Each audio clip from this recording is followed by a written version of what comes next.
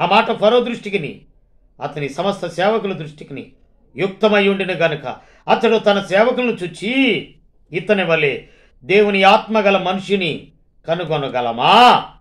అని అనెను. మరియు ఫరో దేవుడు ఇదంతయు నీకు తెలియపరచును గనక నీ వలె వివేకము వివేక జ్ఞానము గల వారు ఎవరనూ లేరు. నీవు నా ఇంటికి అధికారవి ఉండవలను. నా ప్రజలను నీకు విధేయులయ్యుందురు సింహాసన విషయంలో మాత్రమే నేను నీకంటే పైవాడన యుందునని యోసేపుతో చెప్పాను. ఫరో చూడుము ఐగుప్త దేశమంతటి మీద నిన్ను నియమించి ఉన్నానని యోసేపుతో చెప్పాను.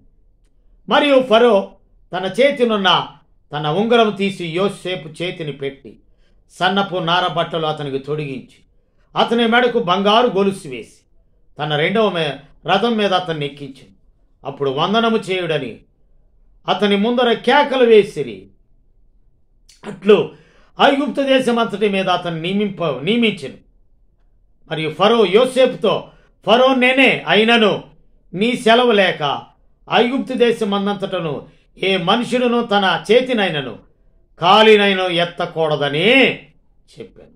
మరియు ఫరో యోసేపునకు జత్నత్మనేహు అని పేరు పెట్టి అతనికి ఓను యొక్క యాజకుడైన పోతీ ఫెరా కుమార్తెకు అసనేతునిచ్చి పెండ్లి చేశాను అప్పుడు యోసేపు ఫరో ఎదుట నుండి వెళ్ళి ఐగుప్తు దేశం అన్నంతట సంచారం చేశాను నాకు బాధ కలిగిన దేశమందు దేవుడు నన్ను అభివృద్ధి పొందించినని చెప్పి కనాను బాధ రెండవది ఐగుప్తు బాధ మూడవది జైలు బాధ. నాలుగవది అయ్యా ఇంటిలో నుండి నన్ను విడిపించుమో అని పానదాయకుడికి చెప్పాడు. పానదాయకుడి కళ నెరవేరింది. భక్ష్యకారుని కళ నెరవేరింది.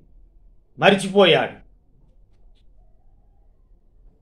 కానీ నలభై ఒకటో అధ్యాయంలో వచ్చిన కళ ఆ దర్శనం భావం చెప్పుటకు. ఇతని వలె వి- దేవుని ఆత్మగల మనిషిని కనుగొనగలమా? చెప్పాడు. బాధల నుండి. బాధల నుండి నన్ను నీవే రాకపోతే నేనేమైపోదును. నేనుండాలేనయ్యా. నీ బ్రతుకాలేనయ్యా నీ సన్నిధానంలో సంపూర్ణ సంతోషం ఆరాధించుకొని విలువైన అవకాశం కోల్పోయినవన్నీ నాకు ఇచ్చుటకును. బాధల నుండి బ్రతికించుటకును. నీవే రాకపోతే నేనేమైపోదును. నేనుండాలేనయ్యా నే బ్రతుకాలేనయ్యా. అవును. బాధల నుండి కనాను అన్నలు. తర్వాత ఐగుప్తు అక్క కావాల్సింది అమ్మ కావాల్సింది. అమ్మ అని అంటుంటే అమ్మ కాదు బొమ్మ కాదు ఈ బొమ్మను అనుభవించు అని అంటుంది. అమ్మమ్మ నేనెట్లు ఇంత ఘోరమైన దుష్కార్యం చేసి పాపం మూట కట్టుకుందును అని ఆ బాధ నుండి పారిపోయాడు. పారిపోతే అత్తని తీసుకొచ్చి రెండవ బాధ పారిపోయిన బాధ. మూడవ బాధ ఒకటి కణాను రెండు ఐగుప్తు మూడవది పారిపోవటం బాధ నాలుగవది జైల్లో వేపించటం. అన్నలు గుంటలో వేశారు. ఇరవై వెండి నాణాలు అమ్మారు ఆ ఇస్మాయిలీలు పోతీ ఫెరా అతనికి అమ్మారు. అతడు ఉన్నందువల్ల అన్నిట్లో దీవించబడుతున్నాడు. ఈ బాధల నుండి ఈ నాలుగు బాధల నుండి విడిపించబడి ఈయన పేరు జప్నత్మనేహు. ఈయన ఐగుప్తు దేశం అంతటి మీద నియమించబడ్డాడు. చేతినున్న ఉంగరం యోసేపు చేతిని పెట్టి సన్నపు నార బట్టలు అతనికి తొడిగించి అతని మెడకు బంగారు గొలుసు వేసి తన రెండవ రథం మీద అతన్ని ఎక్కించాను చేతినున్న ఉంగరం యోసేపు చేతికి పెట్టి సన్నపు నార బట్టలు అతనికి తొడిగించి అతని మెడకు బంగారు గొలుసు వేసి తన రెండవ రథం మీద అతన్ని ఎక్కించాను. అబ్బా నాలుగు బాధలు! ఆ బాధలు నాలుగు బాధల నుండి విడిపించబడి ఉంగరం చేతికి పెట్టాడు బట్టలు తొడిగిచ్చాడు మెడకు బంగారం గొలుసు వేశాడు. నాలుగవది రెండవ రథం మీద అతన్ని ఎక్కించాడు. ఐదవది ఏంటో తెలుసా? అందరితో ఐగుప్తి దేశం అంతటి మీద అతన్ని నియమించను. అందరూ ఆయన ముందా కేకలు వేయుడే.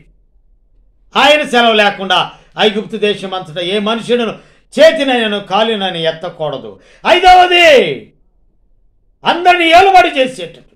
ఆరవది జప్నత్వనేహు అను పేరు. ఏడవది ఏంటో తెలుసా? ఏడవ మేలు. ఓను యొక్క యాజకుడైన పోతి ఫెరా అక్కడ పోతి ఫరా. పోతి ఫరా. నుండి. పోతీఫర జైల్లో వేపించాడు. తన భార్య చెప్పిన మాటలను బట్టి. ఇక్కడ ఓను యాజకుడైన పోతీఫెర కుమార్తెకు అసనేతినిచ్చి పెళ్ళి చేశాడు. ఏడవ. మేలు. అందుకనే ఏడు రకములైన మేలులు పొందాడు. ఎనిమిది. పోతీఫెర కుమార్తెకు అసనేతును.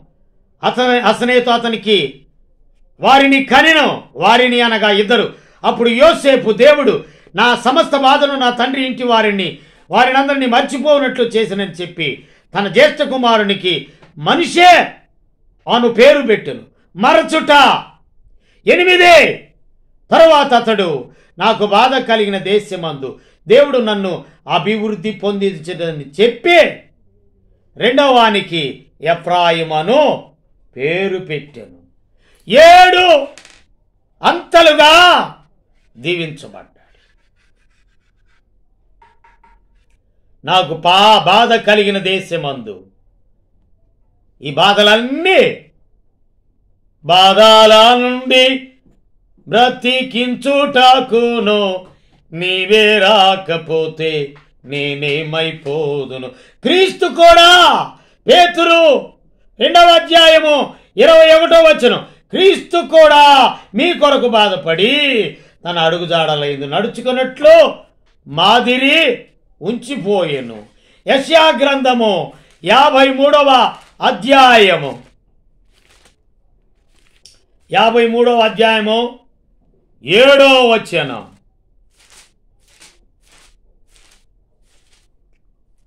ఏడు. అతడు దౌర్జన్యము నొందెను బాధింపబడినను. అతడు నోరు తెరవలేదు. యశాగ్రంథము యాభై మూడు నాలుగో వచనం. నిశ్చయంగా అతడు మన రోగములను భరించెను. మన వ్యసనములను వహించెను. అయినను మొత్తబడిన వానిగాను దేవుని వలన బాధింపబడిన వానిగాను.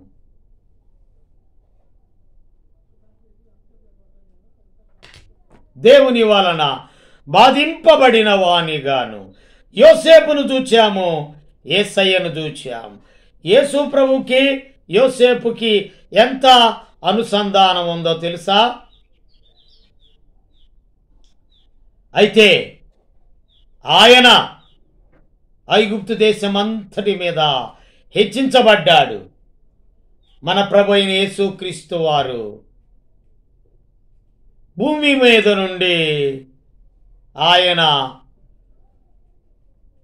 ఆకాశమునకు భూమికి మధ్య వేలాడదీయబడ్డాడు ఆయన తండ్రి వీరేమి చేయుచున్నారు?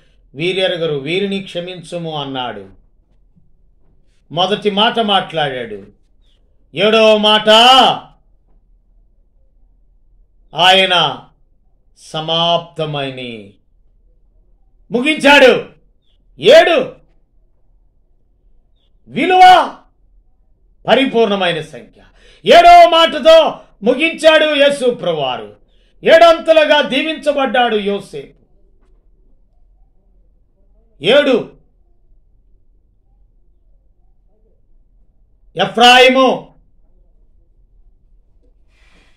నాకు కలిగిన బాధ నాకు కలిగిన నాకు బాధ కలిగిన దేశమందు నన్ను అభివృద్ధి పరిచినని ఎఫ్రాయిమనగా అభివృద్ధి లేక ఫలం. అందుకని గలతీలకు రాసిన పత్రికలో ఏ ఫలమంట? శరీర కార్యాలు స్పష్టమై ఉన్నవి. అవి కాదు.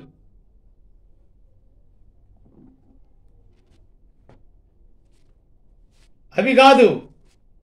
తొమ్మిది. జిహ్వాఫలం. ఆయనకి అర్పించాలి. ఆత్మఫలమేమనగా? తొమ్మిది. జిహ్వాఫలం అర్పించేదం స్తుతియాగము చేసేదను. అవును అలాగా అభివృద్ధి పొందించనని చెప్పి ఆయనకు కృతజ్ఞతలు.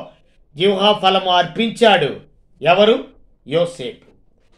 యేసు ప్రభువారు ఆయన ఏడవ మాట పలికి నిద్రించాను. అనగా నాకు సమాప్తమైనదని చెప్పి తన తల వంచి అప్పగించుకున్నాడు ఏడు. యోసేపు ఏడు యేసు క్రీస్తు ఏడు మాటలు. మొదటి మాట తండ్రి వీరేమి చేయించున్నారు? అలాగే కళల భావం చెప్పగలిగిన సామర్థ్యం